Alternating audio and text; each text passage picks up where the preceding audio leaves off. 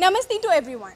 I, Nidhi Thadke, along with my friends Jishnu Dhurandar, Pranjal Rathod, and Aryan Agrawal, are here today to throw some light on the theme Invest in Our Planet. Let's tell you about one major problem that is faced by billions of people in the world. The United Nations has given importance to clean water and sanitation by marking it as the SDG number 6. About 2.4 billion people lack basic sanitation services such as toilets or latrines. Thus, as our contribution towards this SDG, we resolve this problem of one such school in our locality. There is a school in Dahisar named Gramin Vikas Mere Adivasi School.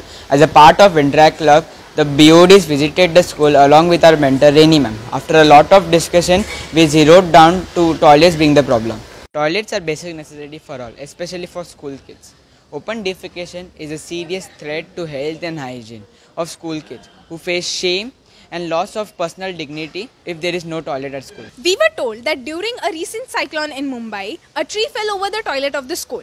Our principal ma'am, Dr. Jaya Parekh, promised the school a newly built toilet with six cubicles, and the students promised to fulfill this wish. This time it was a huge amount 5.5 lakhs. That is why the students of RRIS were given a proper session on how to crowdfund. With the help of the site Fueler Dream, the Interact Club members raised the proper amount within a month. The facility was inaugurated by the MLA of Mira Bhainder, Mrs. Geeta Jain, on 26 January. Let's hear how she found the process. कि यहाँ के लोगों की ज़रूरियात को समझ के स्वच्छ भारत के इस अभियान को आगे चलाते हुए आपने जो ये सुंदर गिफ्ट यहाँ दिया है बच्चों के लिए शौचालय ऐसी सुंदर वास्तु के लिए फिर एक बार मैं राम रत्न के पूरे स्टाफ आपका दिल से धन्यवाद देती हूँ। We would like to end on the note that we cannot imagine the plight face by the students and we should do whatever we can to support the community and lead it towards progress thank you so much have a good day